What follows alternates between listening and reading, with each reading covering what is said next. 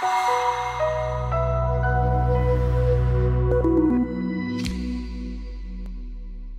morning, everybody. This is the uh, Hedge Investment Credit Fund uh, update for the month of January.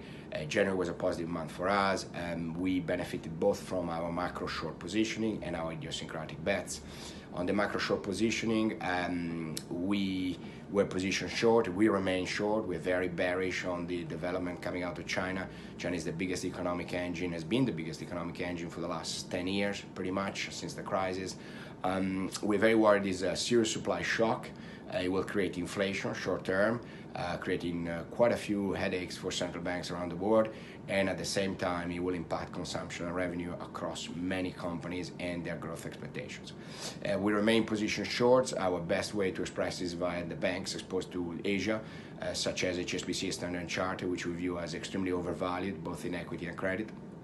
We also have uh, macro plays such as South Africa or China CDS uh, in relative value versus other uh, either indexes or uh, European sovereigns. Um, on the idiosyncratic side, uh, we had some good uh, uh, results on Oi Brazil, uh, Monte dei Paschi, and Dish Telecom Network.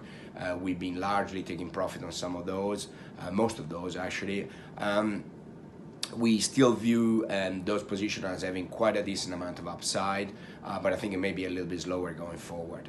Um, away from that, we actually suffered on a few event names, T-Mobile, Sprint, Walgreens. Uh, we still think there is a lot of upside on all those positions we have, such as T-Mobile shorts, uh, Sprint long, and Walgreens uh, long equity short credit. Um, we think there's going to be more development going forward, and we like the position. Overall, remain very cautious, very liquid uh, within the market is you know is totally fantasy land uh, as far as the um, market dynamics are concerned.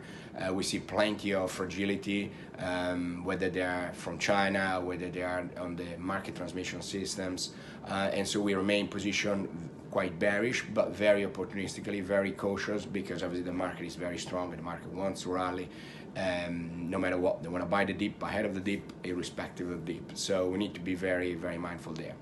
Thank you very much.